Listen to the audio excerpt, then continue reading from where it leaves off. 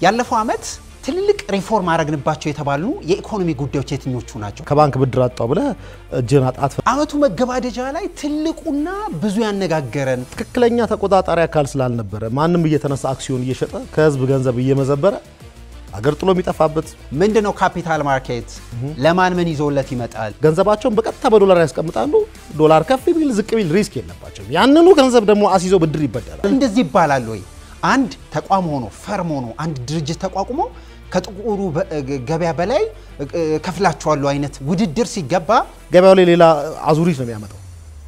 ሀይ መባል አለበት። አነሰን በዛ ምልክቱም ለማየት የሞከር ነው ሉዓላዊነት ማስከበር የኢኮኖሚ ሉዓላዊነት የኢትዮጵያ ኢኮኖሚ በውጭ ምንዛሪ ገበያው ላይ በሚፈጠረው ከፍታና ዝቅታ ምክንያት እንዳይጎዳ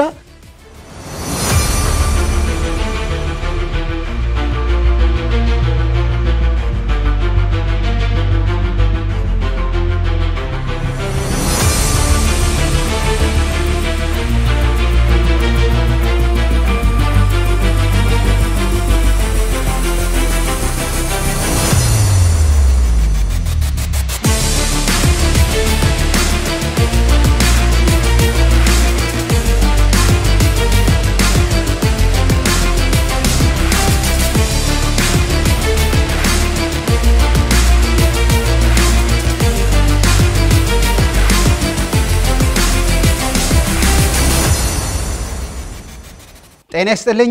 ይህ አጀንዳ ፕላስ ነው። አጀንዳ ፕላስ ሳምንቱ ሙሉ ዋና ዋና የኢኮኖሚ ጉዳዮችን የምንዳስስበት የሰኞ ምዕራፍ የሪፎርምና የኢኮኖሚ corner አችን ነው። የሪፎርምና የኢኮኖሚ corner የምናይበት ሳምንቱና ዓመቱ ሙሉ ዋና ዋና የተቀየሩ፣ የተለወጡ፣ ያስተካከልናቸው የኢኮኖሚ ጉዳዮች ምንድን ናቸው? መለስ ብለን የምናይበት የምንመረመርበትና ቢደረግ ደግ ነው ብለን የምናስባቸው ጉዳዮች የምናወራበት ቀን ላይ እንገኛለን። ከእኛ ጋር ስለምትሆኑ አስቀድመን እናመሰግናለን። ከመሸጋገሪያ በኋላ ስንመለስ የምናወራቸው ዋና ዋና ጉዳዮች እንጠቅስላችኋለን። ይህ አጀንዳ ፕላስ ነው።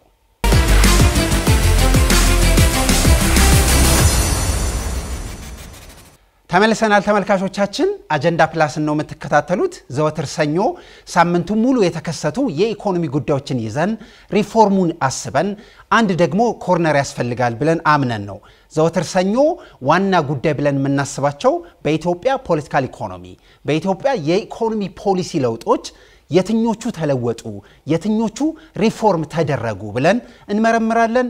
ደጉንም ክፉንም ገጽ እናያለን። ቢስተካከል ደግ ነው የምንላቸውንም የትኞቹም ጉዳዮች ሀሳብ ለመስጠት እንሞክራለን። ይሄ ግን የኢኮኖሚ የሪፎርም ማዕዘናችን ነውና ከእኛ ጋር እንድትሆኑ ለማስታወስ ነው የምንሞክረው። ዋና ዋና ጉዳይ ለማንሳት እንሞክራለን። ሶስት አራት ጉዳይ ነው ዛሬ ለማንሳት የምንሞክረው። በቀዳሚነት አዲስ ዓመት ነው፣ አዲስ ዘመን ነው፣ አዲስ ስሜት እየተቀበልን ነውና ለኢትዮጵያውያን ይሄ ቀን ሁልጊዜም እንደሚባለው ክብረ በዓል ነው። ለኢትዮጵያ ደግሞ ልደቷ ነው ማለት ይቻላል። በዚህ ቀን ያለፈው ዓመት እንዴት ተጓዝን፣ እንዴት ሳስተካከል ነው ለሚቀጥለው ዓመት እርሾ የሚሆኑ የኢኮኖሚ ጉዳዮች አነሳን ወይ? ይህንን ለማየት እንሞክራለን።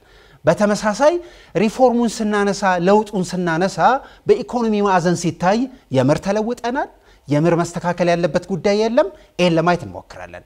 እዛው ውስጥ ደግሞ ሉዓላዊነት አያስፈልገንም ወይ? በተረጂነት እድሜ ልካችን መቀጠል አለብን ወይ? እኛ የኢኮኖሚም የፖሊሲም ነፃነት የምናገኘው መቼ ነው? የእሱን ጅማሮ ሀ ብለን ጀምረናል ወይ? ይህንንም ለማንሳት እንሞክራለን። በተጨማሪ ከሀገር ውጭ ያሉ ኢትዮጵያውያን ዲያስፖራ የኢትዮጵያ ብሔራዊ ባንክ ትልቅ የሚባል announcement ወይ ደግሞ ማስታወቂያ አውጥቷል። ይሄ በኢትዮጵያ ብሔራዊ ባንክ የተነገረው ንግግር ለዲያስፖራው ትልቅ ተስፋ፣ ትልቅ ሀብት እንደሆነ እየተነሳ ነው። መቶ ቢሊዮን ብር ለዲያስፖራ ለኢንቨስትመንት ለብድር ቀርቧል። ምንድን ነው ውስጡ ያለው? መቶ ቢሊዮን ብር በምን መጠን ግዙፍ ነው? ይህንን እያየን እንቆያለን። በተመሳሳይ ደግሞ ከረንሲ ስዋፕ ወይ ደግሞ የገንዘብ መለዋወጥ ከቻይና ጋር ልንጀምር ነው። የምር ይሄ የመርካቶ ነጋዴዎች ቻይና ለሚመላለስ አንድ ነጋዴና አንድ ገዢ በምን መጠን ተስፋ ይሰጠዋል? ለሚቀጥለውስ ዓመት ይዞ የሚመጣው ትልልቅ በረከቶች ምንድን ናቸው? ይሄን ይዘን እንዘልቃለን። በእርግጠኝነት ጠቃሚ ነገር ታገኛላችሁ ብለን እናምናለን። ከእኛ ጋር እንድትሆኑ ለማስታወስ ያህል ነው። ባልደረባችን የባንክ ባለሙያና የፋይናንስ ባለሙያ የሆነው ጥላውን ግርማ ከኛ ጋር አለ። ጥላውን ስለመጣ በጣም በጣም አመሰግናለሁ። እኔም በሰላም ስለቆያችኝ እንኳን ሰላም ቆያችኝ፣ እንኳን ለአዲሱ ዓመት አደረሳችሁ። የመጨረሻ ፕሮግራማችን ነው። ልክ ነው። ታንኪዩ ስለጋበዛችሁኝ። አዲስ ዓመት ነው፣ አዲስ ዘመን ነው። በኢኮኖሚ በፋይናንስ አዲስ ዓመት ሲመጣ እንዴት እንዴት ብናበስር ጥሩ ነው? እንዴት ብንናገር ጥሩ ነው? ሁልጊዜ አዲስ ዓመት አዲስ ዘመን ሲመጣ ወጪ ይበዛል፣ ዋጋ ይወደዳል፣ እንደው ገበያውም ተወደደ፣ እንደዚህ አይነት ወሬ ይበዛሉ እና እንዴት እንዴት ቢታሰብ ጥሩ ነው? በፋይናንስ አይን ኪሳችንስ ወይ ደግሞ ባንካችን ውስጥ ያስቀመጥነው ገንዘብ ትንሽ የሚሳሳበት ዓመት ነው። እንዴት ነው በጣም በስርዓቱና በጥንቃቄ መጠቀም ያለብን? እሱም ትንሽ ብናነሳው ደስ ይለኛል። ያው እንግዲህ አዲሱ ዓመት በተለይ ለቤተሰቦች በጣም ከባድ ነው። የትምህርት ቤት ክፍያ የሚከፈልበት፣ የልጆች ዩኒፎርም ወጪ የሚደረግበት፣ በዓል ተደጋግሞ የሚመጣበት ወቅት ነው። የፋይናንስ ጫናውም የዛን ያክል ከባድ ነው። እንዲሁ ደግሞ አዲሱ እዚህ እንግዲህ የኢኮኖሚ ፖሊሲውን ተከትሎ የተፈጠሩ እሳቤዎች የዋጋ ጭማሪዎችን አስከትለዋል። ገበያ ላይ የወጡ ሸቀጦች በከፍተኛ ሁኔታ ዋጋ የሚጨምሩበት ነው። ስለዚህ ገበያውን ዞር ዞር ብሎ መመልከት ያስፈልጋል። አማራጮችን ዘንድሮ ደግሞ I think ሮብ ላይ ነው የዋለውና ስለዚህ በዓል የእኛ በዓል ብዙ ጊዜ ከምግብ ጋር የተሳሰረ ነው። እንግዲህ በዓሉ ወደ ሐሙስ የሚገፋበት ሁኔታ ነው ያለው የሚሆነው። ግን ሰው ባለው ነገር ሁሌ ዶሮም በግም ቅርጫም ሁሉም ነገር በአንድ ቀን መግባት የለበትም። የምግብ revolution መጀመሪያ ያለብን ይመስለኛል። የምግብ አብዮትና ሁሉ ነገር ነው። አንዳንዴ አንዳንድ ቤት ስትሄድ በጉም አለ ዶሮም አለ። ለዛ ሁሉ ተበድረን ተለቅተን መሆን የለበትም። አቅማችን በሚፈቅደው መንገድ በዓሉን ማክበር ይቻላል። ትንሽ financial literacy ትንሽ ብታወራኝ ደስ ይለኛል። ቀደም ብለህ ጥሩ ነገር ያነሳህ ይመስለኛል። ሁሉንም የምግብ አይነት እንድናመጣ ያስፈልጋል። ነገር ግን እንወዳለን። የመጣንበት መንገድ እንደዛ ነው። ያለን ሀብት ኪሳችን ውስጥ ያለው ባንክ ቤት ያለንና ተቀማጩ ገንዘባችን ትንሽ ነው። እሱን በስርዓቱ አሎኬት ማድረግ መመደብ እንደ አንድ ነቃ እንዳለ ኢትዮጵያዊና በስርዓቱ ገንዘቡ እንደሚጠቀም ሰው እዚህ ላይ መነጋገር ያለብን አይመስልም? ውድድሩ ነው አሁን ቶታሊ ጎረቤቴ የሚኖረው የኔ ኑሮ እኔ ነኝ የምኖረው ጎረቤቴ ከታረደ ማረድ አለብኝ የሚባል እሳቤ የለም። በዶሮ ተደስቼ ልኖር እችላለሁ። ዋናው ዓመት ባሉ የሚፈጥርብህ ስሜት ነው እና አንዳንዱ በግም አርዶ ቅርጫም ገብቶ ዶሮም ከዛ በኋላ እዳ መክፈል ይሆናል። አንዳንዱ ከመስሪያ ቤት እዳ ተበድሮ ነው። አንዳንዱ ከሰው ተበድሮ ነው። ከሰው ለምን አንሳለሁ? ሰው መኖር ያለበት ከሰው ለምን አንሳለሁ ሳይሆን ዛሬ ነገን ሊበጠብጥብኝ አይገባም ነው። ገብተዋል።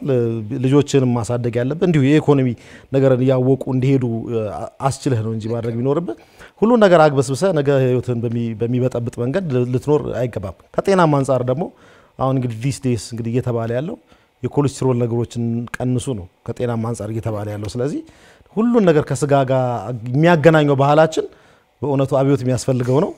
መቀነስ ነው የሚኖርብን። ልክ ነህ። መስከረም ነው፣ አዲስ ዓመት ነው። መስከረምና አዲስ ዓመት ሲመጣ እንዳልከው ወጪ በጣም መጨመሩ አይቀርም።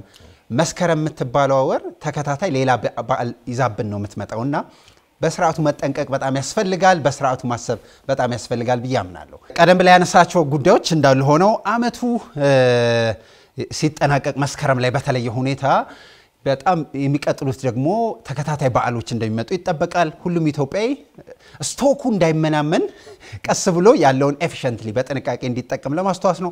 all in all ግን አዲስ ዘመን ልንቀበል ነው። አዲስ ተስፋ ነው። እዚህ ተስፋና ዘመን ውስጥ አዳዲስ ፖሊሲዎች፣ አዳዲስ ሪፎርሞች ተካሂደዋል።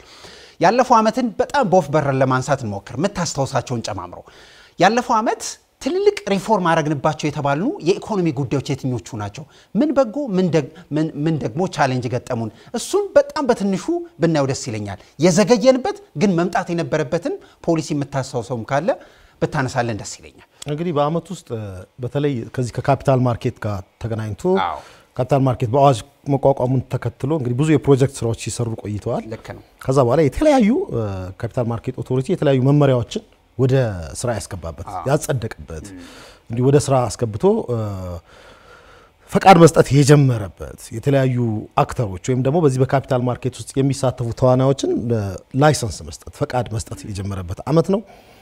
ለ capital market ኡ ትልቅ ዜና ነው። ኢትዮጵያ security exchange ወይም ገበያው ይሄ አክሲዮን የሚገበያይበት ገበያው ፈቃድ ያገኘበት ዓመት ነው።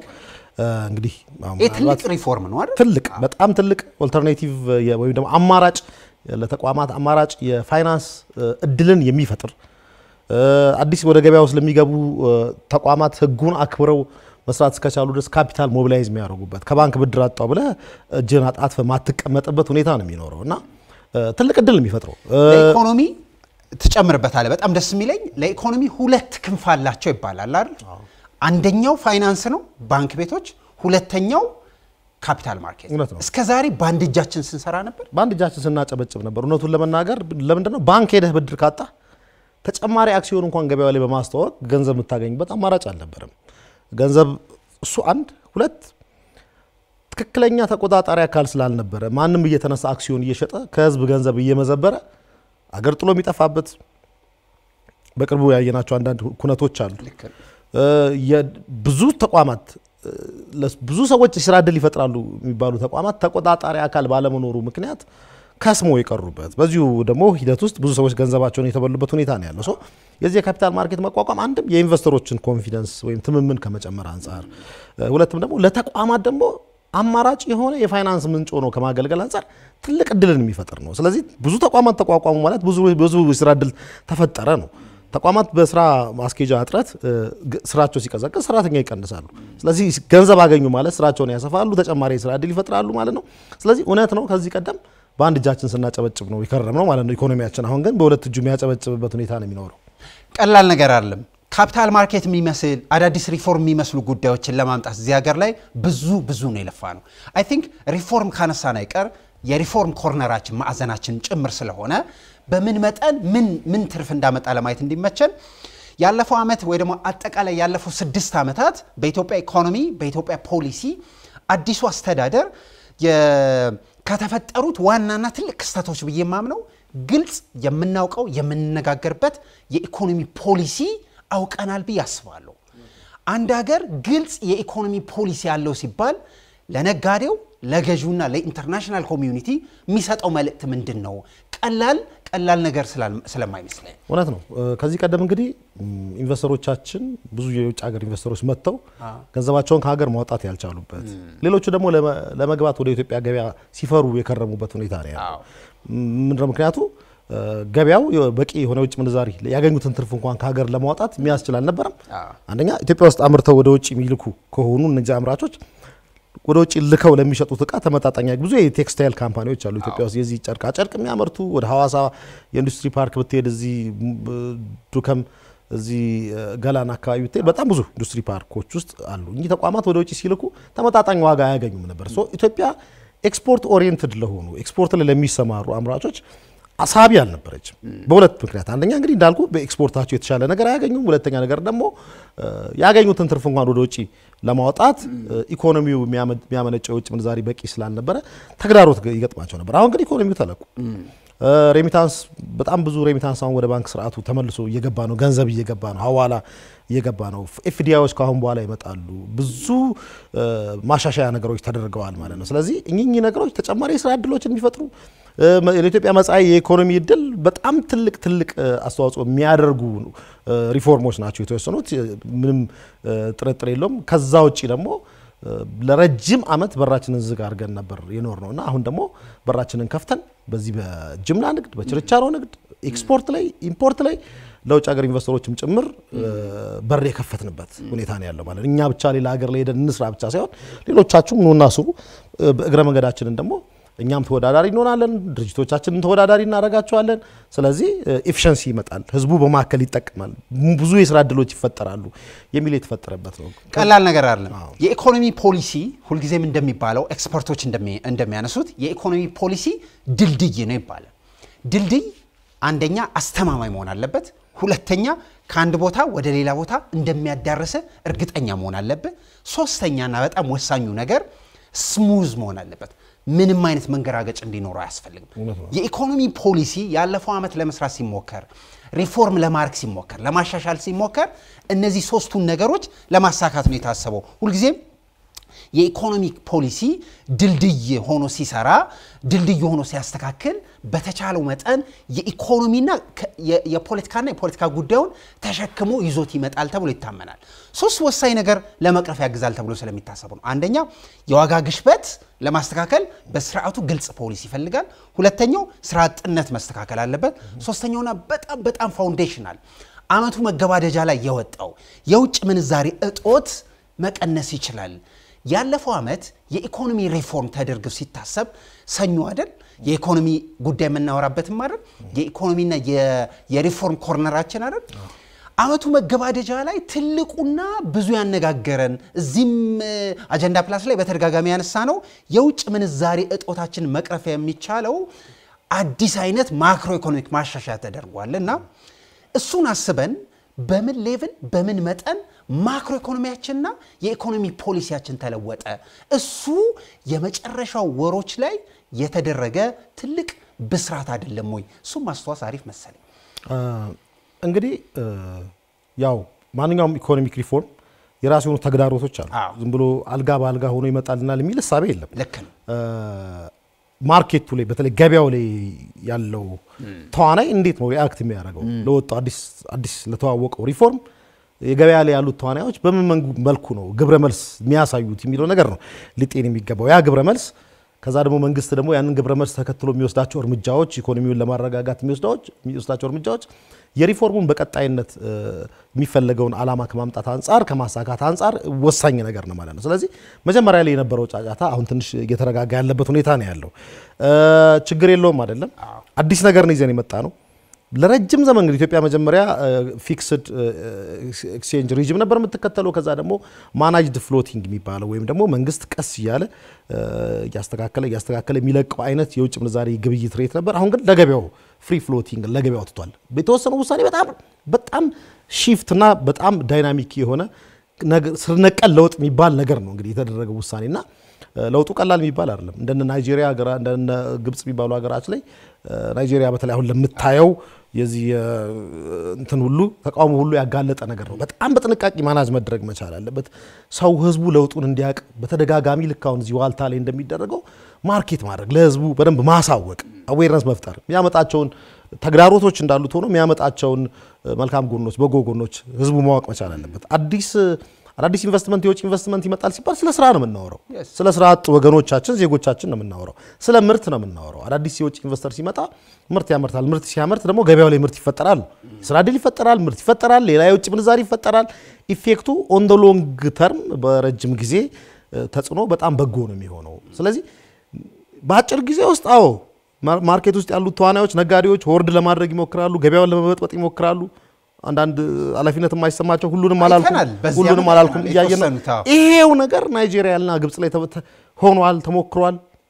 so ሁሉም በአጭር ጊዜ ላትርፍ ስለሚል ነው እንጂ የረጅም ጊዜ አገራዊ ራዕይህን ስታስብ የተረጋጋ ኢኮኖሚ ፖሊሲ የ manage የተደረገ inflation መወዳደርስ የለብንም ወይ? እድሜ ልካችን በከለላ መኖር ጤነኝነት ነው ወይ? ትክክል አይደለም። እሱም እኮ በጣም ትክክል እሱም ልክ አይደለም።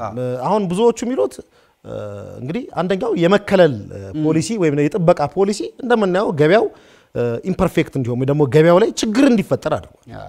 ነፃ አድርገነው ቢሆን ኖሮ ከዚህ የበለጠ ጣጣ አይመጣብንም ነበር። አሁን ካየነው የበለጠ ችግር ተግዳሮት ኢትዮጵያ ይገጥማታል ብዬ አላስብም ነበር። ስለዚህ እኚህ ሰዎች ሲመጡ ግብር ይከፍላሉ እንደ ማንኛውም ኢትዮጵያዊ ግልጽ ነው። ምርት ያመርታሉ፣ ባመረቱት በሸጡት ላይ ግብር ይከፍላሉ። የተወሰነ ነገር ትርፋቸውን ወደ ውጭ ይልካሉ ማለት ነው። ስለዚህ ኢትዮጵያ ውስጥ ያሉትም ድርጅቶች ይህን ነው ሲያደርጉ የከረሙት። ስለዚህ መወዳደር ይኖርብናል። efficiency ማምጣት አለብን። ጥሩ ምሳሌ እኮ ባንክ በመንግስት ብቻ ሲያዝና የግል ባንኮች ሲገቡ ያለውን ነገር ማየት ነው። ውድድር ሁሌም ሊጠላ የሚገባው ነገር አይደለም እና ሁሌም ደጋግሜ እንደምለው monopoly የህዝብ ጸር ሌሎችም አብረው ስለ institutionalized ሆኖ አንድ ላይ ሆኖ አቅም ፈጥረው ስለመወዳደር ማሰብ አለባቸው። የውጭዎቹ እንኳን ደህና መጡ ነው ሊባል የሚገባው። በተለይ በስራ አጡ ወጣት በ community ው በምርት እጥረት በሚሰቃየው community እንኳን ደህና መጣችሁ ነው ሊባል።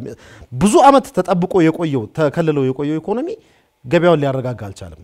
በ new normal አሁን በ status quo ወይም ደግሞ ቀደም ሲል በነበረው እንዲሁ ቡጠኝ ብለን መቀጠል የምንችልበት አይደለም። አሁን ላይ ቀደም ሲል ከነበረው ወደ አዲስ shift ማድረግ ግዴታ ነው፣ አማራጭም አይደለም።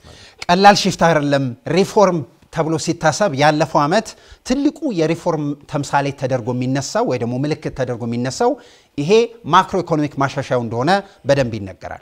ሌላኛው በጣም ብዙ ሲነገርለት የነበረው የሀገር በቀል economic ጉዳያችን ነው። በሁለት ምዕራፍ የተጠናቀቀው አጠቃላይ ለውጡ ሲመጣ ወደ አስር ዓመት እቅዱ ከመሄዳችን በፊት ለሶስት ዓመት የቆየ የሀገሩን macro economic ጉዳይ ማሻሻያ የስራ አጥነት ለመቅረፍ የውጭ ዕዳችን ለመቀነስ ደሞዝ ለመክፈል በጣም ያግዛል ተብሎ ይታመን የነበረው ሀገር በቀል economic reform እሱን ካጠናቀቅን በኋላ ነው ወደ 10 ዓመት እቅድ ይሄድ ነው ብዬ አስባለሁ። እነዚህ ሁሉ ሲጠቀለሉ ያለፈው ዓመት በሪፎርም ደረጃ በተለይ ደግሞ በ economic reform ደረጃ ምን የታየ ተስፋ አለ? ምንስ ጥንቃቄና ኃላፊነት መወጣት አለብን? እነማን ምን ማድረግ አለባቸው ልልህ ሪፎርሞቹ የሚያመጡት ነገር በጣም በጣም ትልቅ ነው። እንዳልኩህ የ capital market ኡ አማራጭ የሚፈጥረው ነገር ለ existing market ኡ አዲስ አሁን ብዙ ወደ አስር ድርጅቶች መንግስት መርጧል። ለመጀመሪያ ጊዜ ለ public float የሚያደርጉ የተወሰነ percent ለህዝብ ኢትዮጵያውያን ለ private sector ኡ ግልጽ ይደረጋል። ይሸጣል ሲባል የግድ ለውጭ ሀገር ዜጋ ማለት አይደለም። ኢትዮጵያውያን አክሲዮን የቴሌን አክሲዮን ልገዛ እችላለሁ በአቅሜ፣ አንተ ልገዛ ትችላለህ። institutional investor ኦች ሊገዙ ይችላሉ። ስለዚህ አንዳንድ ተቋማት ወደ ግልነት ዘርፍ ተሳትፎ ሙሉ ለሙሉ ባይሆንም አሁን ለምሳሌ ቴሌ 10 percent ነው ይሸጣል የተባለው። ይሄ neo liberal የመሆን ወይም ደግሞ በመንግስት ይዞታ ስር የነበሩ ተቋማትን ሙሉ ለሙሉ ወደ ግል ለማዞር አይደለም። የ private ዘርፉም የግል ዘርፉም በእነዚህ ተቋማት ኢንቨስትመንት ላይ እንዲሳተፍ ከትርፉም እንዲቋደስ የማድረግ ነገር ነው ማለት ነው። ስለዚህ ኢንቨስትመንትን ማለማመድም ነው ሰውን የማለማመጃዎችም ናቸው እነዚህ። ያንን ተከትሎ እንግዲህ ለወደፊቱ ሌሎች ትልልቅ ተቋማትም ከባንክ ብድር ካገኙ ያገኛሉ፣ ካላገኙ alternative finance ነው። ይሄ አማራጭ የፋይናንስ ምንጭ ነው የሚሆናቸው፣ ያን ያገኛሉ ማለት ነው። ስለዚህ capital market አስራ አምስት ያክል አዳዲስ ተዋናዮች የሚሳተፉበት ነው። ከፍተኛ የሆነ የስራ ዕድል ልክ እንደ ባንክ ዘርፉ ይፈጥራል ተብሎ የሚታሰብ ነው። ለመንግስት ከፍተኛ የሆነ የገቢ ምንጭ ግብርን ያመጣል የሚባል ነው። ከዚህ ቀደም አክሲዮን ሲሻሻጥ ብዙም ግብር አለ። አሁን ግብር እዛ ላይ ሁሉ መንግስት ያገኛል ከአክሲዮን ሽያጭ። credit rating agency ዎች ይገባሉ። ከዚህ ቀደም ሁሉም ብድር rate የሚደረገው በ internally ነበር። አሁን ግን credit rating agency ዎች ይቋቋማሉ። በጣም በጣም ብዙ 15 እንግዲህ ተዋናይ ቀላል ተዋናይ አይደለም ማለት ነው። እኚህ ሁሉ አዳዲስ የስራ ዘርፍ ናቸው። broker ኦች፣ stock broker ኦች ይቋቋማሉ። አዲስ ቋንቋዎች፣ አዲስ እድሎች ብዙ ነገር። ስለዚህ ይሄ ብቻ በኢትዮጵያ ኢኮኖሚ ላይ ትልቅ ከፍተኛ ነገር የሚያመጣ ነገር ነው። ስለዚህ ይሄም አንዱ የዚህ የሪፎርሙ ወይም የለውጡ አንደኛው ውጤት ነው ማለት ነው። ሁለተኛው ደግሞ እንግዲህ የገንዘብ ፖሊሲው እንደምታየው ነው። ኢትዮጵያ ዓለም የሚከተለውን የ open market operation ተከትላለች። አሁን ባንኮች ድሮ በነበረው በተለመደው መንገድ ብሔራዊ ባንክ ጣልቃ እየገባ ብድር አትስጡ አቁሙ ምናምን አይልም። አሁን ላይ ራሱ ምንድን የሚሆነው ራሱ ተበዳሪ ይሆናል። ገንዘብ ከገበያ ላይ በሚበዛበት ጊዜ እኚህን treasury bill ኦች issue ያደርግና ገንዘቡን ያወጣል። አንድ ምሳሌ በቀለል አድርጌ ለሌላ ሰው በሚገባው መንገድ ቀለል አድርጌ ልናገር። ለምሳሌ ባንኮች ብድር ሲያበድሩ 17 percent ነው የሚያስከፍሉት እንበል፣ ምሳሌ ነው። ለማ ለተበዳሪ ለተበዳሪ 17 percent በሚያበድሩ ጊዜ ላይ collateral ይዘው መያዣ ይዘው ነው ተበዳሪው ብድሩን ላይመልስም ይችላል። business ኡ risk አለው፣ ሊያከስር ይችላል። ስለዚህ ብሔራዊ ባንክ ግን 15 percent እኔ ገንዘብህን ልበደርህ ካለው ባንኩ በ17 percent risk ወስዶ ወደ ውጭ ቢያበድር ነው የሚሻለው ወይስ ከብሔራዊ ባንክ treasury bill ቢገዛ ነው የሚሻለው? ከስጋት አንጻር ከብሔራዊ ባንክ treasury bill ቢገዛ ነው የሚሻለው። ስለዚህ ብሔራዊ ባንክ አሁን risk free borrower ሆኗል ማለት ነው። ተበዳሪ risk free ማለት ይሄ ስጋት የሌለው በ15 percent ከባንኮቹ ገንዘብ ይወስዳል። ገንዘብ ኢኮኖሚ ላይ በብዛት ሲኖር፣ ስለዚህ አዲስ ገንዘብ ኢኮኖሚው ላይ አይገባም ማለት ነው። inflation ኡ አይረጋጋም። inflation ን curb ለማድረግ ሲፈልግ፣ inflation ኡ ደግሞ ተረጋግቶ የግል ተቋሙ ገንዘብ ካጣ ደግሞ መልሶ ያን treasury bill መልሶ ምን ያደርጋል? settle ያደርግላቸዋል ለባንኮቹ መልሰው ደግሞ ወደ ኢኮኖሚው ገንዘብ እንዲያስገቡ ማለት ነው። ግልጽ ነው። ስለዚህ ይሄ open market operation ሌሎች ሀገሮች ላይ የሚሰራ ነው። ሰርቶ effective የሆነ ነው። ወደዚህም ተኪዷል ማለት ያን ተከትሎ ደግሞ እንግዲህ exchange rate ነፃ ተደርጓል፣ float ተደርጓል። ምናልባት አሁን መጨረሻ ላይ ይቀራል ተብሎ የሚታሰበው የዚህ የተቀማጭ ገንዘብ ላይ ይወሰናል ተብሎ የሚጠበቅ cycle ኡን full ለማድረግ ተቀማጭ ለአስቀማጮች ለቆጣቢዎች የሚከፈል የወለድ ምጣኔ ማሻሻያ ይደረጋል ተብሎ በቅርቡ ይጠበቃል ይጠበቃል። መጨረሻ ላይ እሱ ነው የሚጠበቀው። እንግዲህ አንድ ሁሉንም አንዴ ማድረግ ገበያው ላይ የሚፈጥረው ጫና አለ። phase by phase phase by phase በጣም በጥንቃቄ መንግስትን መንገድ ነው መንግስት የመረጠው።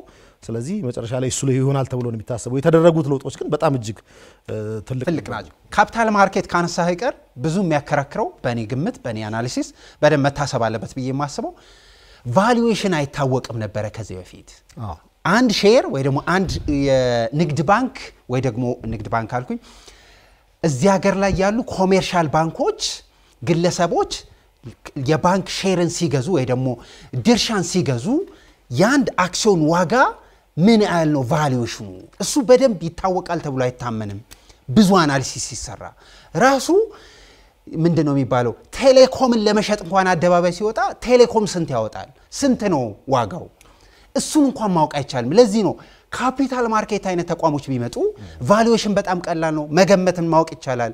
አንድ ሰው እኔ አንተ somebody የአንድ የ commercial የባንክ ቤቶችን አክሲዮን ለመግዛት ሲገባ ስንት እንደሚያወጣ እንኳን በስርዓቱ አይታወቅም። መቼ ነው የሚታወቀው? እሱ I think የ capital market አንደኛው ትሩፋት ነው። አንደኛው ትሩፋት እሱ ነው። በተለይ ኢንቨስትመንት ባንኮች ይገባሉ። ኢንቨስትመንት ባንኮች እንግዲህ ከሌላው ባንክ የሚለይ የባንክ አወቃቀር ያላቸው ናቸው። ስራቸው ቁጠባ ወስዶ ማበደር አይደለም። ልክ እነዚህ ኢንቨስትመንት ባንኮች በዋናነት ስራቸው አንደኛ ያልከው የ valuation ኑ መስጠት ነው። ተቋማት ምን ያክል ያወጣሉ፣ ይህን ትመና የሚሰሩ expert ኦች አሉ። ተቋማቶቹ ባላቸው ሀብት ላይ ተመርኩዞ ባለፉት ጊዜያት ባላቸው ትርፍ ላይ ተመርኩዞ በመጪው ጊዜ የሚያገኙት ትርፍ ላይ ተመርኩዞ የተቋማትን አክሲዮን ይተምናሉ። ስለዚህ አንደኛ ተቋማት ትክክለኛ ተመን ይኖራቸዋል።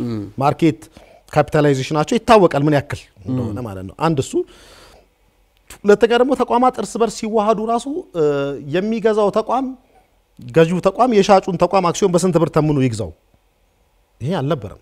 አሁን ለዚህ purpose የሚያስፈልጉ ተቋማት የዚህ አንደኛ የዚህ investment advisory firm ኦች ለመጀመሪያ ጊዜ እንግዲህ አንድ በ Deloitte የሚባል ገብቷል። ይህንን የሚሰራ initial public offering ላይ IPO ይባላል። ለመጀመሪያ ጊዜ ተቋማት ለህዝብ አክሲዮን ሲሸጡ IPO initial public offer ይባላል።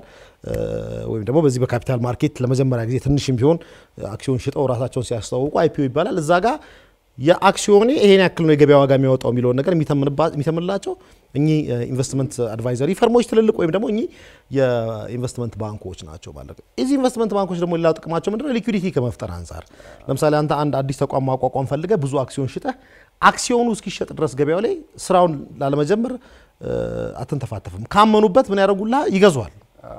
አንድ ላይ ወስደው እነሱ ቀስ እያሉ ይቸረችሩታል ማለት ነው። ከአንተ አክሲዮን ሙሉ ለሙሉ ጠቅልለው ወስደው ይኸው ገንዘብህን ከዛ በኋላ እነሱ ደግሞ ያንን አክሲዮን ይሸጡልሃል ማለት ነው። ብዙ ነገሮች እንግዲህ እየመጡ ነው ማለት ነው። ብዙ እውቀቶች ይመጣሉ። ይህን ተከትሎ ከውጭ የሚመጡ ኢትዮጵያውያን ይኖራሉ። ትልልቅ የአሜሪካ capital market ላይ ይሰሩ ቀደም ሲልም የነበሩ ሰዎች እውቀት ወደ ትውልድ ይተላለፋል። አዳዲስ ቴክኖሎጂዎች ይመጣሉ። የቴክኖሎጂ integration ይፈጠራል። new skill ይፈጠራል። new opportunity፣ አዳዲስ የሙያ እውቀቶች፣ አዳዲስ እድሎች ገበያው ይዞ የሚመጣው ነገር ይኖራል ማለት ነው። ስለዚህ ነገርየው በጣም ሰፊ ነው። በጣም እጅግ ሰፊ ነው ማለት ነው። አንድ ቀን በእርግጠኝነት በዚህ ጉዳይ ላይ አንድ ቀን ደግሞ ይዘን የዚሁ የሪፎርምና ኢኮኖሚ corner ኣችን ላይ ቁጭ ብለን ምንድን ነው capital market ለማን ምን ይዞለት ይመጣል፣ ውስጡ ምን ምን ጉዳዮች አሉት፣ አዳዲስ 15 አይነት ቢዝነሶች ሊመጡ ነው እየተባለ ነው። እነዚህ አዳዲስ business ኦችና sector ኦች ምን ዋና ዋና ጉዳዮች ይዘው ዘልቀዋል፣ ይሄ ለሀገሬው ነጋዴ ለኢትዮጵያዊ ይዞ የሚመጣው ትርፍና በረከቱን በስርዓቱ ለማየት እንሞክራለን እና የሆነ ቀን እንመለሳለን። አዲስ ዓመት ላይ ነው ያለነው፣ ሽግግር ላይ ነው ያለነው። እዚህ ላይ ሰሞኑን የሰማ ነው አንድ በጣም ትልቅ ነገር የብሔራዊ ባንክ announce ያደረገው ወይ ደግሞ ያሳወቀው ትልቅ ፓኬጅ አለ። I think በኢትዮጵያ ኢኮኖሚና በኢትዮጵያ finance sector እንደዚህ ሰምተን አናቅም። አዲስ አይነት መንገድ ነው። ሁልጊዜም ከ macroeconomic ማሻሻያው ቀጥሎ የሚወጡ በጣም ብዙ ጉዳዮች አሉ። እንጠብቃለን ካሁን በኋላ አንዱ እየወጣ ያለው ይሄ ነው። ሰሞኑን announce የተደረገው የብሔራዊ ባንክ ገዢው ማሞ ምህረቱ ያሳወቁት ስያሜው ደቦ የሚል system ነው ያለው። በሰላሳ አንድ ባንኮች ነው የሚሰራጨው። አጠቃላይ ለስድስት ወር የሚቆይ ፓኬጅ እንዳለው ይታወቃል። ለትውልደ ኢትዮጵያውያንና ለኢትዮጵያውያን የተዘጋጀ አንድ መቶ ቢሊዮን ብር ነው ለብድር የቀረበው። ይሄ አማላይ ይመስላል። ጥላውን ዘርዘር እናርገው። ምንድን ነው ይሄ ማዕቀፍ? ምንድን ነው ይሄ የሁሉ ገንዘብ ልልህ ደቦ እንግዲህ ያው አገራችን ላይ በኦሮምኛው ጅጊም ይባላል፣ ወንፈልም ይባላል። ለጋራ ጉዳይ ሰዎች አንድ ላይ ተሰባስበው የሚሰሩት ነገር ማለት ነው ደቦ። ይሄም ለጋራ የሀገራችንን ከዚህ ቀደም በጥቁሩ ገበያ መንገድ ሲከናወን የነበረውን የሀዋላ ከፍተኛ ሀዋላ አቅም አላት ኢትዮጵያ። በጣም ከፍተኛ የሆነ የዲያስፖራ community አላት። ይህን ዲያስፖራ community ጥቀመኝ ብቻ ሳይሆን ተጠቀምም ጭምር ነው። ከዚህ ቀደም ላይ ምንም እንኳ የተለያዩ ባንኮች ለዲያስፖራው community የብድር አቅርቦት እያቀረቡ የነበረ ቢሆንም ባንኮች ይከፍሉት የነበረው የውጭ ምንዛሪ rate ና ጥቁሩ ገበያ የሚከፍለው በጣም የተራራቀ ነበረ። አሁን ያንን gap ሞልተውታል። ማንም ጤናማ ዜጋ የባንክ rate ና የጥቁሩ ገበያ rate እኩል ሆኖ ሊክድህ በሚችል በግለሰብ አትልክም። ተቋም regulate በሚደረግ ቁጥጥር በሚደረግበት ተቋም እያለ ለእናትህ ሊክድህ በሚችል ሰው በኩል አትልክም። ቀደም ሲል የነበረው እንግዲህ በጥቁሩ ገበያና በመደበኛው ገበያ መካከል ከፍተኛ ልዩነት አሁን ጠቧል። ስለዚህ ሳ እዛ ጋር ደግሞ መንግስት ብድር ቆሞ ነበረ። ለነዚህ ለዲያስፖራ community ያን በማድረጋቸው ሊሰጥ የሚችለው ነገር አልነበረም። አሁን መቶ ቢሊዮን ብር ልስጣችሁ፣ ዶላሩን በመደበኛው ገበያ በኩል ላኩ፣ እኔ ደግሞ ብድር አበድራችኋለሁ ነው። ግልጽ ነው። አሁን እኩልም ሆኗል። በመደበኛው ገበያና በጥቁሩ ገበያ መካከል ያለው rate ገበያ ምንም encourage የሚያደርገው ነገር የለም ዲያስፖራው ማለት ነው። ስለዚህ ለዲያስፖራው ቦነስ ተሰጠው ማለት ነው። በተጨማሪ ከምከፍልህ rate በተጨማሪ ይሄ አንድ። ሁለተኛ ደግሞ አዲስ የተፈጠረ ነገር ምናልባት ያላነሳው united dot et የሚባል አዲስ የሂሳብ መክፈቻ ዘዴ ተፈጥሯል። በብሔራዊ ባንክ በኩል ኦንላይን ሆኖ ማንኛውም ኢትዮጵያዊ ከፈለገበት ዓለም ተቀምጦ ፓስፖርቱን አስገብቶ ፎቶግራፉን አስገብቶ account የሚከፍትበት የፈለገበት ባንክ account ላይ ይሄ platform ተፈጥሯል። united dot et ይሄ ትልቅ move ነው። እኚህ ዲያስፖራ community account ኣቸውን ይከፍታሉ። ገንዘባቸውን በቀጥታ በዶላር ያስቀምጣሉ። ዶላር ከፍ ቢል ዝቅ ቢል risk የለባቸውም። ያንኑ ገንዘብ ደግሞ አስይዘው ብድር ይበደራሉ፣ ማስያዣ ማድረግ ይችላሉ ማለት ነው። ስለዚህ ይሄ በብሔራዊ ባንክ የተካሄደው እንቅስቃሴው የተወሰደው እርምጃ በጣም ከፍተኛ እርምጃ ነው። ድሮ ቀደም ሲል ዲያስፖራው ሆነህ ለምሳሌ አንተ አሜሪካ ብትሄድ account ለመክፈት ወደ ኢትዮጵያ ቆንጽላ ጽሕፈት ቤት ወይ ደግሞ ወደ አካባቢ ወደሚገኝ ኤምባሲ ሄደ በኤምባሲው በኩል ነበር። በጣም እጅግ bureaucratic የሆነ ነገር ነው። አሁን ግን ስልክ ላይ የሆነ ሂሳብ መክፈት ኢትዮጵያ ውስጥ ያለ account ላይ ሂሳብ መክፈት የምትችልበት አስፈላጊ የሆኑ due diligence የሚባል ነገር አለ። ማለት ደንበኛህን እወቅ ስራዎችን ብሔራዊ ባንክ ይሰራል። ፎቶግራፍ፣ ፓስፖርትን attach ታደርጋለህ፣ የምትፈልገውን ባንክ ትመርጣለህ፣ ገንዘብህን ታስተላልፋለህ። አለቀ ማለት ነው። ይሄ እጅግ እጅግ በዚህ በባንክ ስርዓቱ ላይ ከፍተኛ ለውጥ የሚያመጣ ነው። ነገር ግን ይህንን ይሄ ነገር successful እንዲሆን ስኬታማ እንዲሆን በየሀገሩ የሚገኙ አምባሳደሮች፣ ኤምባሲዎች፣ manpower ኦች ይሄ ነገር መስራት መቻል አለባቸው። ኤምባሲዎች ማለት የመንግስት በየሀገሩ ያሉ የመንግስት ሱቆች ማለት ናቸው። አምባሳደሮች ትልቁ ስራቸው ይሄ ነው። thank you። ስለዚህ ይሄን መነገድ ይሄንን ነገር internalize አድርጎ በስራቸው ያለውን community ማንቃት ይሄ እንዲህ አይነት እድል ተፈጥሮላቸዋል። account ክፈቱ ማለት አለባቸው። because እያንዳንዱ አምባሳደር ሌላ ሀገር ላይ ሲሆን የንግድ አታሼ ክፍልም ይኖረዋል። ንግድንም ማስተዋወቅ ነው። ስለዚህ የመንግስትን ካዝና ያሻሽላል፣ ኢኮኖሚያችንን ያሻሽላል። ትልቅ ነገር ነው የሚያመጣው። ፋይዳው ትልቅ ነው እና ደቦው እውነት ነው ደቦ ነው ውድድርህ ለጋራ አገራዊ ልማት፣ ለጋራ አገራዊ ብልጽግና፣ ለጋራ አገራዊ ለውጥ ነው እና እንደው ተበታትኖ መፎካከር ሳይሆን አንዳንዴ አሁን አዲስ የመጣ concept አለ competition by cooperation የሚል ምንድን ነው? እየተወዳደርክ ግን ደግሞ ትተባበራለህ። በትብብር ላይ የተመሰረተ ውድድር ማለት ነው። አሁን አየር መንገድ ብትመለከት የስታር አሊያንስ አባል ነው እና የስታር አሊያንስ አባል ሲሆን ምንድን ነው እዛ አባል ሀገር ውስጥ ያሉ አውሮፕላኖች ለምሳሌ አየር መንገድ ከዚህ መቀሌ በረራ አለው። ስለዚህ መቀሌ የሚሄድ ሰው ለምሳሌ በአሜሪካ አየር መንገድ ቢመጣ የአሜሪካው አየር መንገድ ከአዲስ አበባ ቦሌ ኢንተርናሽናል እስከ መቀሌ ያለው ለአየር መንገድ ገንዘቡን ትርፉን ያካፍሏል። ከዚህ እዛ መብረር የለበትም። አንድ booking ኡን በአንድ ይወስድና ግልጽ ነው እስከ መቀሌ አደርሳለሁ ብሎ እኮ ነው ሰውየውን ያመጣው። ግን እዚህ ቦሌ ላይ ደግሞ ኢትዮጵያ አየር መንገድ ይጠብቀዋል። ለምንድነው? ሁለቱም የስታር አሊያንስ member ናቸው። የአንደኛውን ተሳፋሪ ኢትዮጵያ አየር መንገድ ወስዶ ያደርሳል ማለት ነው። አሁን ዓለም ተቀይሯል። ውድድር አለ። አዎ አዎ አለ ውድድር ግን ደግሞ ውድድር በመተባበር competition by cooperation ወደሚባል ሄደዋል ማለት ነው። ትልቅ ነገር ነው በኢትዮጵያ ብሔራዊ ባንክ የተወሰደው move። ከዚህ ውጭ ደግሞ ሌላ የሰማሁትና እጅግ ደስ የሚል ሌላ በተለይ ደግሞ ለገንዘብ እዚህ ጋር ማውራትም ስላለብን ነው። ልክ ነው። በዚህ ከባንክ ውጭ ላሉ ተቋማት እንትን ፈቅዳለሁ ብሏል ኢትዮጵያ ብሔራዊ ባንክ። ከባንክ ውጭ ያሉ ተቋማት የዚህ የውጭ ምንዛሪ ሱቅ እንዲከፍቱ፣ shop ኦች እንዲከፍቱ፣ ኪዮስኮች እንዲከፍቱ license ልሰጥ ነው ብሏል። ከዛ ውጭ የውጭ ምንዛሪ ገዝቶ ከመሸጥ ከ cash transaction ውጭ ሀዋላም እንዲሰጡ ፈቃድ ሰጣቸዋለሁ እያለ ይሄ አዲስ ነገር ነው።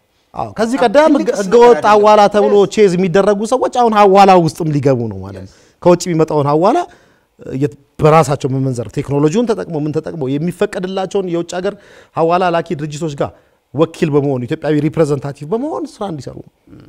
በጣም ብዙ እድሎች ነው እየመጡ ያሉት እና እውነቱን ለመናገር ለውጡ ተስፋ የሚሰጥ ነው። በጣም ትልቅ ነገር ነው። ያነሳቸው ሶስት ወሳኝ ጉዳዮች አሉ። እሱን ወደኋላ ወደፊት እያለን ለማየት እንዲመቸን እንዴት ነበር እስከዛሬ መጣ ነው ምንድን ነው የተቸገርነው ነገር? አሁንስ ብሔራዊ ባንክ እያቀረበ ያለው መቶ ቢሊዮን ብር በምን መጠን ይህንን ነገር ይቀርፈዋል የሚለው ለማሳየት እንዲመቸን ነው። አንደኛው ለዳያስፖራ መደበኛ ገንዘቡን ሲልክ የኢንቨስትመንት ወይ ደግሞ የብድር ነገሩን access የሚያደርገው ወይ ደግሞ የሚያገኘው መቶ ቢሊዮን ብር በ31 ባንክ ቤቶች ተቀምጠዋል። so invest እንዲያደርጉ ተጋብዘዋል ማለት ነው። ሁለተኛ እዚህ ውስጥ የነሱን remittance ወይ ደግሞ ከሚላከው ወይ ደግሞ መላክ ብቻ ትልቁ ውትወታም እንዳይደረግ የተነገረው remittance አሁን invest መደረግ እንደሚችል እድልም እንዳላቸው እየተነገረ ነው። ሁለተኛው በመተባበር ደግሞ አብሮ መስራት የሚቻልበትን ፓኬጅ ሲፈጠር እያንዳንዱ ዲያስፖራ account የሚከፍትበትን መንገድ ማቃለል አለ። ሶስተኛው እዚህ ሀገር ላይ ያሉ የውጭ ምንዛሪ እንዲከፍቱ የተፈቀደላቸው የቢሮዎች እነሱ ደግሞ ሀዋላ እንዲሰሩ ሲሰራ ነበር። የኢትዮጵያ ሀብት፣ የኢትዮጵያ ገንዘብ፣ የኢትዮጵያ ዶላር በ remittance ና በውጭ ላኪና በአስመጪ መካከል የነበረው ጣጣ በምን መጠን ሲባክን ነበረ? እሱን ማየት አለብን ብዬ ስለማስብ ነው። ለመሰለ ጥላው ውጭ ሀገር የሚኖር ኢትዮጵያዊ ኦልሞስት ኦል በሚባል ደረጃ በማይታመንና በማይተማመን ስርዓት ውስጥ ዶላራችንን ስንልክ አልነበረም ወይ? እሱን ህመም በምን መጠን ይቀርፍልናል? ምንድን ነበር የተቸገር ነው? የኢትዮጵያ ሀብት የት ድረስ የት ድረስ የኢትዮጵያ ዶላር መላክ የነበረበት መድረስ የነበረበት እንዴት ስንታመምና ሲበላና ሲዘረፍ ነበረ? እሱን ማንሳት በጣም አሪፍ ነው። እውነቱን ለመናገር እንግዲህ ጥቁሩ ገበያ ጥቁሩ ገበያ አብዛኛው የኢትዮጵያ import እቃ ቢመጣው በጥቁሩ ገበያ ነበር። መደበኛው ገበያ እንደው እቃው ወደ ሀገር ውስጥ እንዲገባ permit የመስጠት ጉዳይ ነው፣ ፈቃድ የመስጠት ጉዳይ ነው፣ ፈቃድ የመስጠት ጉዳይ ነው እንጂ ከዛ ውጭ ግን አብዛኛው ገንዘብ ይወጣ የነበረው በዚህ በጥቁሩ ገበያ ነው። ስለዚህ ጥቁሩ ገበያ የተሻለ የውጭ ምንዛሪ ሲሰጣቸው ስለነበረ ሰዎች በባንክ ስርዓቱ ከመላክ ይልቅ እንደዛም ሆነ ወደ 6 ቢሊዮን ዶላር አካባቢ እናገኝ ነበር በአመቱ። በትክክለኛው ገበያ ከፍለናቸው ቢሆን ኖሮ ኢትዮጵያ 24 ቢሊዮን ዶላር አካባቢ ታገኝ ነበር ከበኋላ so ይሄ ገንዘብ የኢትዮጵያ አመታዊ የኢትዮጵያ አመታዊ ገቢ ንግድ 20 ቢሊዮን ዶላር ጭራሽ መንግስት አራት ቢሊዮን አካባቢ ትርፍ ያገኝ ነበር። import ኡን ችሎ import ኡን ችሎ የሚፈጥረው እንደምታ ቀላል አይደለም። remittance ኡን ብቻ ኤክስፖርቱን እድገቱን ተወው። ኤክስፖርት ላይ የምታመጣው እድገቱ እንዳለ ሆኖ መንግስት በሚወስዳቸው affirmative action ኦች export ዘርፉ ላይ የሚሳተፉ ሰዎች በሚፈጠርላቸው እድሎች የሚመጣውን የውጭ ምንዛሪ መሻሻያ ተወውና remittance ኡን ብቻ ወደ ትክክለኛው መንገድ ብታመጣ ኢትዮጵያ ለገቢ ንግድ የሚያስፈልጋትን ገንዘብ ትችል ነበረ። so ጥቁሩ ገበያ ያንን ሲበጠብጥ ነው የከረመው። አሁን ያንን ወደ መደበኛው ስርዓት የማምጣት ጉዳይ ነው issue ው ነው። so የተወሰደው ነገር ትልቅ እርምጃ ነው ነው። ስለዚህ ድሮ አንተ 57 ብር እየከፈልክ ጥቁሩ ገበያ ላይ 170 ብር የሚከፈለው ሰው አንድ ዶላር 50 ብር የሚከፈለው ከሆነ ብድርም ልስጥ ብትለው ምንም ልስጥ ብትለው ወደ መደበኛው ገበያ አይመጣም ነበረ። አሁን ግን እኩል ሆኗል። almost እኩል 4 percent 3 percent ልዩነት ያለው አይመስለኝም። ደግሞ አንዳንድ ተቋማት ከጥቁሩ ገበያ በላይ ሁላ እንከፍላለን እያሉ ነው። ልክ አይደለም፣ ልክ ነው የሚለውን ነገር እንርሰውና ትንሽ ብናነሳው አሪፍ ልክ ነው ልክ አይደለም እንደዚህ ይባላል ወይ? አንድ ተቋም ሆኖ firm ሆኖ አንድ ድርጅት ተቋቁሞ ከጥቁሩ ገበያ በላይ ከፍላችኋለሁ አይነት ውድድር ሲገባ ለምን መሰለ? የብሔራዊ ባንክ ስራ ምንድን ነው ታዲያ? ብሔራዊ ባንክ manage አረጋለሁ ይላል። እንዲህ አይነት ጉዳዮችን በህግ በስርዓት manage ካላረገ እጅና እግር የሌለው ገበያ ውስጥ እንገባለን ብዬ አምናለሁ። ትልቅ እዚህ ጋር ትልቅ እንትኖች አሉ። ትልቅ አለመረጋጋቶች ይሁን የብሔራዊ ባንኩ የመቆጣጠር ችግር ይሁን ለምን መሰለ አላማው ከጥቁሩ ገበያ መብለጥ አይደለም። የሚነገሩ ማስታወቂያዎች ላይ ethical የሆነ advertisement ወይም ደግሞ ስርዓት የጠበቀ ማስታወቂያ የሚባል ነገር አለ። ገበያውን መበጥበጥ አይደለም። አንድ ተቋም በቅርቡ አይቻለሁ ከጥቁሩ ገበያ የሚበልጥ ዋጋ ሰጠሁኝ ብሎ አላማው ከጥቁሩ ገበያ መብለጥ ነበረ እንዴ? አይደለም። ሁለቱን ገበያዎች merge ማድረግ ነው። ሁለቱን ገበያዎች እኩል ማድረግ ነው። ስለዚህ ያን እኩል በማድረግ ደግሞ ከመደበኛው ገበያ ውጭ ያለውን ግብይት ወደ መደበኛው ገበያ መመለስ ነው አላማው። እንዲህ አይነት ማስታወቂያዎች ሲነገር አደብ ለምን እንደማያሲዝ ብሔራዊ ባንክ አይገባኝም። እኔ ልክ አይደለም። ገበያውንም ሊበጠብጥ ይችላል። በተለይ ደግሞ እንዲህ ሳይቃጠል በቅጠል የሚባለው። እንዲህ infant stage ላይ ገና መጀመሪያው ላይ ነው እያስተካከልክ መሄድ ያለብን። መንገድ ከሳተ ጣጣ ስለሚያመጣ ነው። እንዲህ አይነት ማስታወቂያዎች ያልተገባ ሌሎች እዛ ዘርፍ ውስጥ ያሉ ባንኮችን ተዋናዮችን ላልተገባ ፉክክር የሚዳርጉ አይነት ማስታወቂያዎች ናቸው። እያንዳንዱ ዘርፍ ላይ አይተህ ከሆነ advertisement ላይ ethics አለ። ለምሳሌ እኔ ኦዲተር ነኝ። ኢትዮጵያ ውስጥ ከየትኛውም የላቀ ኦዲተር ነኝ ብዬ ማስታወቅ አልችልም፣ ክልክል ነው። ማስታወቂያ በር ላይ ነው የምንለጥፈው። የቢሮ በር ላይ ያላለም የቢሮ በር ላይ ነው የምንለጥፈው። ውጭ ላይ ትልልቅ ማስታወቂያ መለጠፍ አትችልም። በኢትዮጵያ ውስጥ በጣም የተመሰከረለት የሂሳብ አዋቂ ምናምን እያልኩ ራሴን ማስተዋወቅ አልችልም። advertisement አለ፣ ethics አለ። ባንኮቻችን በዚህ ethics ነው ሊዳኙ የሚገባው። አንዳንድ ማስታወቂያቸው ሀይ ሊባል ይገባል፣ ካልሆነ ገበያውን ይበጠብጣል። ከባንኮችም ውጭ የሚሳተፉ እዚህ ገበያ ላይ አሉ አንዳንድ ተቋማት፣ የገንዘብ አስተላላፊ ተቋማት ማስታወቂያቸው ላይ ሀይ ሊባል ይገባል። ብሔራዊ ባንክ initial stage ነው ማስተማር አለብኝ እያለ ነው። ማስተማሩ ግን ገበያውን በሚበጠብጥ መንገድ at cost of economy መሆን የለበትም። እዚህ ላይ ጥብቅ አቋም መወሰድ መቻል አለበት። ሌላው ደግሞ በዚህ በእጣ በዚህ በሽልማት ላይ የሚደረገው ውድድር አሁንም ገበያውን ላልተገባ ፉክክር የሚዳርገው ይመስለኛል። አሁን በዓል ስለደረሰ የኔ ያክል ቦነስ የኔ ያክል ሎተሪ እንስጣቸዋለን ምናምን የሚሉ ተቋማት አሉ። ያ hidden cost ነው ወይም ደግሞ ድብቅ ወጪ ነው። ከዛ ምን ያደርጉታል ነገ የውጭ ምንዛሬ ሲሸጡ ያንን ዛሬ እንደ በሽልማት መልክ የሰጡትን ከተው ነው ነገ ከነገ ወዲያ ለአስመጪዎች የአንድ ዶላር የሚሸጡት። ያ ደግሞ ገበያው ላይ ሌላ አዙሪት ነው የሚያመጣው። ሀይ መባል አለበት። ለዚህ transparent የሆነ ሁሉንም ገበያ ውስጥ ያሉ ተዋናዮች የሚገራ ህግ ሊኖር ይገባል ማለት ነው። ካልሆነ ነገር ያዛባል። ልክ ነው። አንድ አጭር ነገር ላንሳልህና ወደ ማጠቃለያው እንሄዳለን። ምክንያቱም ይሄ የኢትዮጵያ ብሔራዊ ባንክ ሰሞኑን ስካይላይት ሆቴል በነበረው የኤግዚቢሽን ላይ ለመጀመሪያ ጊዜ ነው ብሔራዊ ባንክ እንደዚህ ራሱን አደባባይ ወጥቶ ኤግዚቢሽን በሚመስል ነገር እንደዚህ አይነት ትልቅ ደቦ የሚባል system ወይ ደግሞ አዲስ የፋይናንስ ስርዓት ሲያመጣ ለመጀመሪያ ጊዜ ነው ያስተዋልኩት እና ይሄ ይበል የሚያሳይ ነው። ካሁን በኋላ እንጠብቃለን? ብዙ ነገር ማካተት ስላለበት ሁለት ትርፍ አለው። አንደኛው ዲያስፖራ የሚኖር ኢትዮጵያዊ በጣም ብዙ ነው። invest ማድረግ ይፈልጋል። ቤተሰቡና ዘመድ አዝማዱ እዚህ ነው ያለው። በመደበኛ መንገድ መላኩ አይቀርም። so ይሄ ዶላር productive መሆን አለበት፣ ምርታማ መሆን አለበት። ምርታማ እንዲሆን የሚልኩ ሰዎችን ማበረታታት የሚቻለው ለብድር access ሲፈጠርላቸው ነው ብዬ አምናለሁ። እሱን ነው የፈጠረው። so ለመላው ኢትዮጵያውያንና ትውልደ ኢትዮጵያውያን ዲያስፖራዎች ይሄ አዲስ system ነው። አንድ ላይ mutual benefit ነው ያለው። እናንተም ትጠቀማላችሁ፣ ሀገርም ይጠቀማል። ሀገርም እናንተ የምትጠቀሙበት ደቦ system ውስጥ መግባት ለሀገርም ለቤተሰብም እዚህም ላለው ለእናንተም ትልቅ እድል ነውና ይህንን ጉዳይ በጥንቃቄና በደንብ ብታስቡበት ደግ ነው መባል የለበትም ወይ? ነው ሁሉም ፓርቲ ይመለከተዋል ምልህ በየሀገሩ የሚገኙ ኤምባሲዎቻችን የእኛ መልእክተኞች ናቸው፣ አምባሳደሮች ናቸው እዛ። ስለዚህ ይህንን ነገር በስራቸው community ውን የማግኘት እድል አላቸው። የእያንዳንዱ ኢትዮጵያዊ community ስልክ ቁጥር አላቸው። ገባ ኢትዮጵያ ውስጥ የሚደረግ ብቻ አይደለም መሆን ያለበት፣ ማገዝ አለባቸው። አምባሳደርነት ዝም ብሎ የኢትዮጵያ መኪና እየነዳ ባንዲራ ማውለብለብ ብቻ አይደለም። የሌሎች ሀገራት አይተህ ከሆነ እኔ አንድ እዚህ ጋር ምሳሌ ላንሳ። የቻይና ኤምባሲ ኢትዮጵያ ውስጥ አለ። የሆነ ጊዜ ላይ ባንክ ላይ ገንዘብ delay ክፍያ ባንኮች አዘገዩ። ኤምባሲዎቻቸው በእያንዳንዱ ባንክ እየደወሉ ገንዘብ ከነጋዴዎቻችን አዘግይታችሁባቸዋል። አየህ፣ ለቻይናውያን ነጋዴዎች የሚከፈል ገንዘብ ዘግይቶብናል እያሉ ባንክ to ባንክ ይሄዱ ነበር። የሀገራቸውን interest እያስጠበቁ ነው። እንዲህ አይነት ነገር create መደረግ መቻል አለበት። ኢኮኖሚውንም ፖለቲካውንም ምኑንም ለመወከል ነው በየሀገሩ ያሉት። ስለዚህ አብሮ እጅ ለእጅ መስራት ያስፈልጋል። የብሔራዊ ባንክ ጉዳይ፣ የግል ባንኮች ጉዳይ አይደለም። ዜጎችን ማንቃት ያስፈልጋል፣ መንገር ያስፈልጋል። ምን አይነት እንትን እንደሚያገኙ ይሄ ምን አይነት ትሩፋት እንዳለው የአዲሱ ነገር ከዚህ እንዲጠቀሙ የምታውቀው በደንብ ከነገርካቸው ነው፣ ከገባቸው ነው። ግልጽ ነው። ከዚህ ቀደም ከነበረው ጋር ምን አይነት ልዩነት አለው ብለህ ካስረዳህ ነው።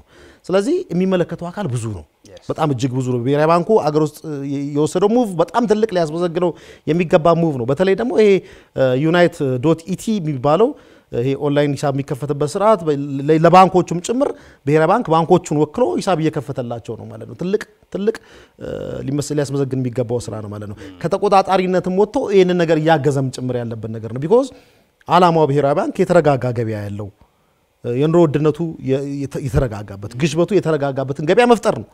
ስለዚህ ለዚህ ደግሞ ቢሮ ቁጭ ብሎ እንደሌላ ጊዜ እጁን አጣጥፎ ሳይሆን አብሮ በመስራትም ጭምር እያሳየ ነው። በዚህ አጋጣሚ የተከበሩ ክቡር ማሞ ሊመሰገኑ ተቋማቸውም ሊመሰገን ይገባል። ትልቅ move ነው ማለት ነው። ሌሎች ተቋማት ግን ሊያግዙ ይገባል። እንዳልኩ በተለይ በተለይ የዲያስፖራ community ያችን የሚበዛባቸው አካባቢዎች ላይ ያሉ ኤምባሲዎች ይህንን ነገር ወስደው በብሮሸር መልክ አዘጋጅተው ለሚመለከታቸው community በስራቸው ላለ community ማስተዋወቅ መቻል ይጠበቅባቸዋል። ከዛ ውጭ ደግሞ ከአሁን በኋላ ወደ ውጭ ሀገር የሚሄዱ ወደ አረብ ሀገር የሚሄዱ ሰዎች በውጭ ጉዳይ ሚኒስቴር በሚመለከታቸው አካላት ስለ እነዚህ product ኦች እውቀት እንዲኖራቸው ያስፈልጋል።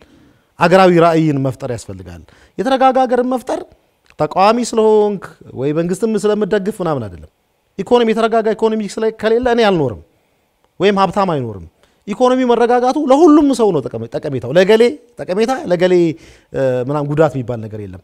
ስለዚህ በፖለቲካ ልዩነት ሀሳብ ልዩነት ሊኖር ይገባል። አገራዊ ጥቅም ላይ ግን አብረህ ልቆም ይገባል። የኢትዮጵያ ትልቁ ችግር ዱላ ቅብብል፣ እንደ ዱላ ቅብብል ስፖርት ነገ የሚመጣው ተቃዋሚ የደከመ ነገርን አይደለም መረከብ ያለበት። ነገ የሚመጣ ተቃዋሚ ዛሬ ላይ ያለውን ጠንካራ ኢኮኖሚ ስለመቀበል ነው ማሰብ ያለበት እንጂ የዛሬውን አድከማ የደከመውን ልቀበል የሚባል ነገር የለበትም። ያ መንገድ ነው ያላስኬደን። ኢኮኖሚ አሜሪካ ሂድ፣ ትራምፕ ይሂድ፣ ባይደን ይሂድ፣ ትራምፕ ይምጣ፣ ምን በኢኮኖሚ ጉዳይ ላይ ዱላ ቅብብል ነው። የኢኮኖሚ ጉዳያቸው ኢንተረስታቸው ላይ ምንም አይነት ድርድር የላቸውም። አንድ አይነት አቋም ነው ያላቸው። እኛም እንደዛ አይነት ነገር ነው መፍጠር የሚኖርብን ብዬ ነው የማስበው። ቀላል ነገር አይደለም። ሁለት አካላት በጣም የቤት ስራ አለባቸው። ቀደም ብለህ እንዳልከው የኢትዮጵያ አምባሳደሮች የተለያየ ቦታ ላይ ስትሄዱ ይዛችሁ የምትሄዱት ባንዲራና ኃላፊነት አንድ ላይ ኢኮኖሚውንም ማህበረሰቡን ጨምሮ ስለሆነ በመላው ዓለም የተሰበሰቡና ያሉ ኢትዮጵያውያንና ትውልደ ኢትዮጵያውያን በዚህ ማዕቀፍ ውስጥ በዚህ ፓኬጅ ውስጥ እንዲገቡ ትልቅ ውትወታ፣ ትልቅ ስትራቴጂ ያስፈልጋቸዋል። ይህን የመስራት ኃላፊነት አለባችሁ። ይህንን አለማድረግ አምባሳደርነትን መተው ነው ብዬ አምናለሁ። ስትራቴጂካሊ እዚህ ጉዳይ ላይ ፑሽ ማድረግ አለባችሁ ብለን ስትሮንግሊ እኔም ጥለውንም እናምናለን። እዚህ ላይ ትልቅ የቤት ስራ አለብን ብዬ አስባለሁ። መጨረሻ ላይ ለማንሳት እንዲመቸን ማጠቃለያው ላይ ስለሆነ ያለ ነው ያለፈው ዓመት አንድ ትልቅ ሪፎርም ለማድረግ የሞከርን የነበረው አነሰን በዛ ምልክቱም ለማየት የሞከር ነው ሉዓላዊነት ማስከበር፣ የኢኮኖሚ ሉዓላዊነት። የኢኮኖሚ ሉዓላዊነት እንዴት ነው መከበር ያለበት? ሰሞኑን አንድ እየሰማን ያለ ነው ኢትዮጵያ ከቻይና ጋር currency swap ወይ ደግሞ የገንዘብ ልውውጥ የሚባለው ጉዳይ ለማምጣት እየተሞከረ ነው። በጣም ብዙ ነጋዴዎች ወደ ቻይና ይሄዳሉ፣ ንግድ ያመጣሉ። currency swap የሚባለው ጉዳይ ሉዓላዊነት ለማምጣት አንደኛው ወሳኝ መንገድ አይደለም ወይ? ጥለውን እኔ እናንተ ቤተሰቦቻችን የሚበሉት ምግብ የምንጠቀመውና የምንገዛው የትኛውም እህል በእርዳታ ከመጣ እኛ say አለን የመናገር ጉልበት አለን? ነገሩ ላይ የመጮህ ሀብት አለን? የለንም። already ተነጥቀናል። እሱን የምንመልሰው መቼ ነው? ማምረት መስራትና የምር ሀገር የመቀየር pattern ውስጥ መቼ ነው የምንገባው? ይሄ ካልተቀየረ የፖሊሲ የኢኮኖሚ ነፃነትና ሉዓላዊነት ማምጣት ይቻላል ብዬ አላምንም። እውነት ነው። ለምሳሌ ሩሲያን ብትመለከት ስለ economic sovereignty እንግዲህ ሁለት አይነት sovereignty ሉዓላዊነት ሲባል ድንበር የድንበር ልክ ሉዓላዊነት አለ። እንዳልደፈር ድንበሬን ኢትዮጵያውያን በዚህ ጉዳይ ስመጣ ሆ ነው የሚሉት። ሌላው ግን አሁን ሌላው front የ economic sovereignty ወይም የኢኮኖሚያዊ ሉዓላዊነት የሚባል ነገር አለ። ስለዚህ የሩሲያን ብትመለከት ኢኮኖሚያዊ ሉዓላዊነቴ import substitution ወይም ደግሞ ከውጭ የማመጣውን ነገር በሀገር ውስጥ በመተካት ላይ ያተኮረ መሆን መቻል ማምረት አለብኝ። ከኮቪድ 19 በኋላ ዓለም ሌላ መልክ ይዘዋል። ለምንድን ነው አይተህ ከሆነ አንዳንድ ሀገራት ማስክ ሁሉ ማምረት ያቃታቸው ጊዜ ነበረ።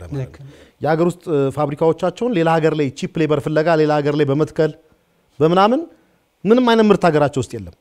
ፋብሪካዎቻቸው cheap labor ፍለጋ ሌላ ሀገር ላይ ሄደዋል። ምርት ሲባል ሀገር ውስጥ የለም። ስለዚህ በጣም አብዛኞቹ ሀገሮች ኢኮኖሚ ሉዓላዊነት የግድ ያስፈልጋል። ሌላ ሀገር ላይ dependent መሆን የለብንም፣ ወይም ሌላ ሀገር ላይ ጥገኛ መሆን የለብንም።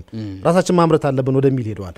እንደ ኢትዮጵያ ያለ ደግሞ ገና የማምረት ዘርፉ በጣም ጨቅላ ደረጃ ላይ ያለ ሀገር ደግሞ ገና ብዙ opportunity ብዙ እድሎች ያሉ ብዙ መመረት የሚችሉ ነገሮች በሀገር ውስጥ የሚችሉበት ነገር ነው ያለው ማለት ነው። ለዚህ ምቹ የሆነ economic ሁኔታዎችን መንግስት ፈጥራለሁ እያለ ነው። ይህን ተከትሎ እንግዲህ ማምረት መጀመር መቻል አለብን። አንደኛው ነገር። ሁለተኛ ምናልባት አንዳንድ ወገናት እና ኢትዮጵያ ከ IMF ጋር ከ World Bank ጫና አለባት ኢኮኖሚ ሉዓላዊነቷን አጥታለች ይላሉ። ግን አይደለም። ለዚህ ቀላል ምሳሌ ኢትዮጵያ ትልቁን import ኧን ሶስት ቢሊዮን ዶላር ድረስ የሚገኘውን import ኧን የምትገዛው ከቻይና ነው። በቅርቡ ጠቅላይ ሚኒስትር አብይ ቻይና በነበራቸው ጉብኝት ወቅት ላይ እንግዲህ ቻይናና ኢትዮጵያ የ currency swap deal ተፈራርመዋል። እዛ ውስጥ እንግዲህ ከቻይና ቀጥሎ ኢትዮጵያ አሜሪካ ላይ ነው ንግድ ያላት። ከአሜሪካ በኋላ አውሮፓ ውስጥ፣ ከዛ በኋላ ደግሞ እንግዲህ ዩናይትድ አረብ ኤሚሬትም አለችበት። ከነሱም ጋር currency swap ይሄ currency swap deal ምን ማለት ነው? መጀመሪያ ምን ማለት ነው? ምን ማለት ነው? ኢትዮጵያ ወደ ቻይና ለምትልከው ገንዘብ በዶላር ሳይሆን ከፈለገች ግልጽ ነው በዩዋን ገንዘብ ትቀበላለች። ቻይናም በብር ገንዘብ ትቀበላለች ማለት ነው።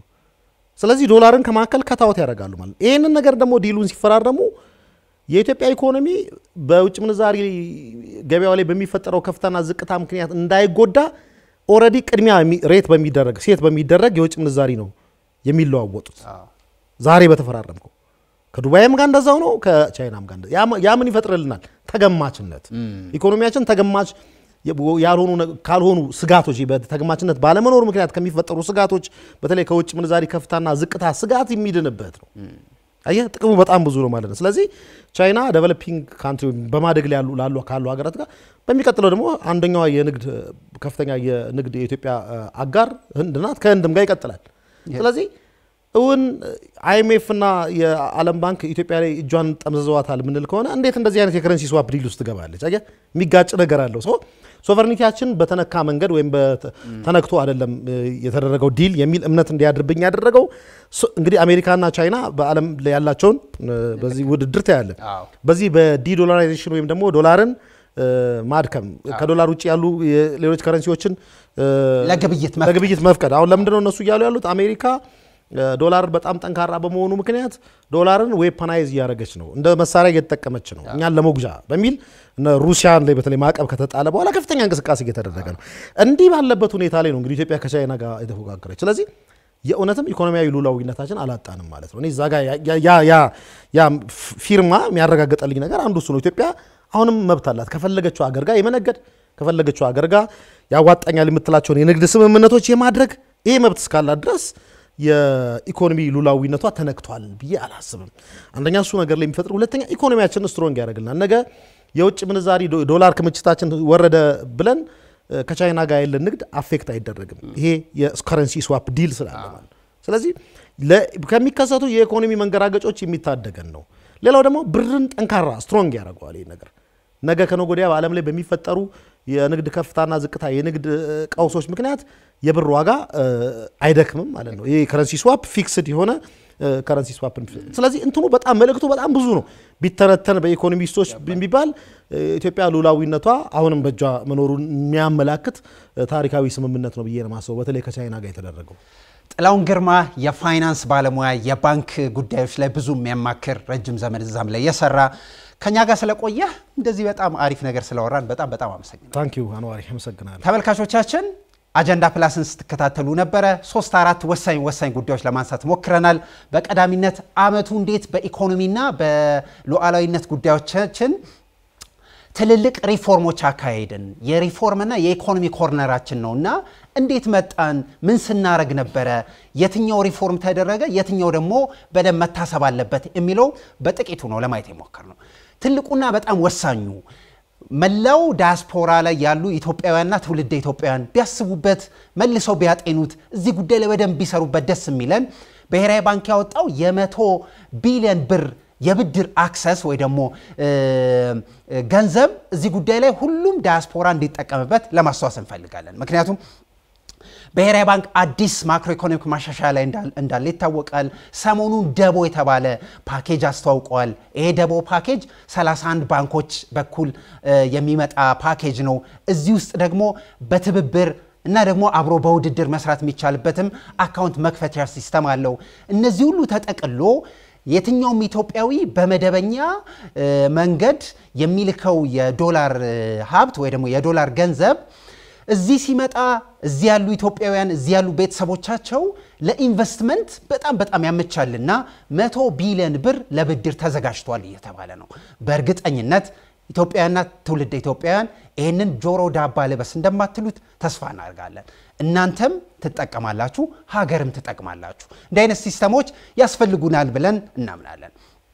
ሌላኛው በጣም በጥቂቱ ለማንሳት የሞከርነው ሉዓላዊነት አያስፈልገንም ወይ? በምንሰራው በምናመርተውና በምንመገበው የትኞቹም ጉዳዮችና ምርቶች ላይ እኛ ሴ አያስፈልገንም ወይ? እኛ በምንሰራው ጉዳይ ላይ እጣፋንታችን ራሳችን እንድንወስን የሚያደርግ pattern ና መንገድ ነውና ግድ የላችሁም። አዲስ ዘመን ነው። አዲስ ዓመት ነው። የራሳችንን እጣ ፈንታ ሉዓላዊነታችን ጠብቀን ሪፎርሙን በስርዓቱ ይዘን ሄደን የምንዘልቅበት መንገድ ላይ ነውና ያለ ነው። ኃላፊነት የሚሰማቸው ብዙ አካላት አሉ። ኢትዮጵያውያንን በዚህ አዲሱ ዘመን ይህንን ስነ ልቦና ይዞ መሻገር በጣም ያስፈልጋል። የኢትዮጵያ ትልልቅ ተቋማት አነሰን በዛ ሪፎርም ለማድረግ ተሞክሯል። እነሱም ትልቅ የቤት ስራ አለባቸው። በአንድነት ብሔራዊ ባንክ እንደሚለው በደቦ ይህንን ሀገር መቀየር ኃላፊነት አለብን። ከኛ ጋር ስለቆያችሁ ከፍ ያለ ምስጋና አለን። ሳስተናግዳችሁ የቆየሁት አንዋር አብራ ነኝ። ይህ አጀንዳ